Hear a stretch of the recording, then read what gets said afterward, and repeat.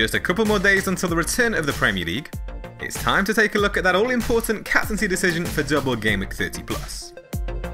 Here's a look at the top three options as voted for by you, the FPL community, over on Twitter. Arsenal's Pierre-Emerick Aubameyang has received just over 7% of the vote, ahead of away fixtures against Man City and Brighton.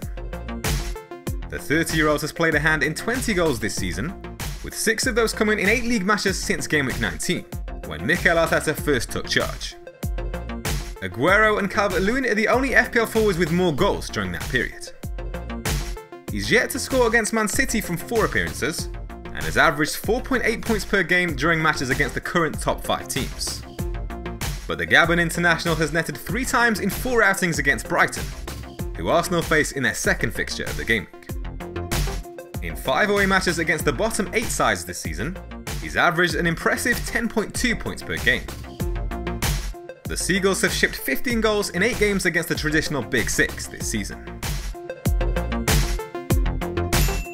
Sergio Aguero sits second in the poll, earning around 37% of the vote ahead of visits from Arsenal and Burnley in Game Week 30 Plus.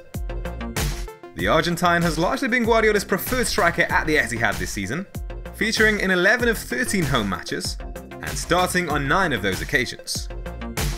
He's notched 8 goals and 2 FPL assists across those games, while ranking top amongst teammates with 35 shots in the box and an expected goals figure of 6.8. An average of 7.97 points per 90 minutes also ranks Aguero top amongst teammates, and highlights his key involvement when on the pitch. He scored a hat-trick in his last outing against the Gunners, and has 8 goals in his last 10 league appearances against the side. Against Burnley, the 32-year-old has 6 goals in 7 appearances, scoring in all but one of his last 6 meetings with the Clarets. With over 51% of the vote, Kevin De Bruyne has a comfortable lead at the top of the Game Week 30 Plus captaincy poll. No teammate has been handed as many minutes at the Etihad this season, where he's amassed 5 goals and 9 FPL assists in 12 appearances, to average 7.8 points per game. Totals of 57 attempted assists and 13 big chances created during home matches rank the Belgian top amongst all players, while only Mane and Salah have returned more than his 93 FPL points. Whilst Arsenal appear to have improved defensively under Arteta, their record against the current top 4 teams this season is far from great. They've conceded 13 goals in 5 matches against those sides, an average of 2.6 per game.